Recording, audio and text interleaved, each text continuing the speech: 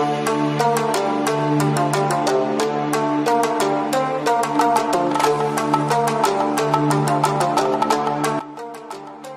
hai Sobat Winisio Official semua.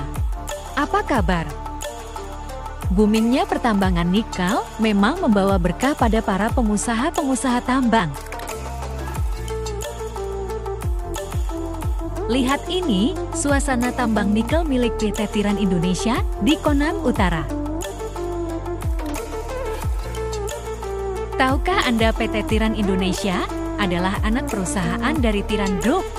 Tiran Group ini dimiliki atau CCO-nya bekas Menteri Pertanian Kabinet Jokowi Yusuf kala tahun 2014. Ya Insinyur Andi Amran Sulaiman. Putra asli Bone, disinyalir masih punya garis keturunan Raja Bone.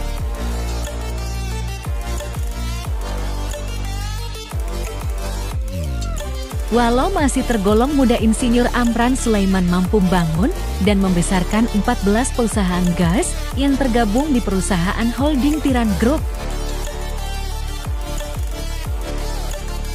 Tiran Group dilansir dari Metro Sultan tengah membangun smelter nikel di Makassar yang berjarak 30 km dari lokasi tambang ini.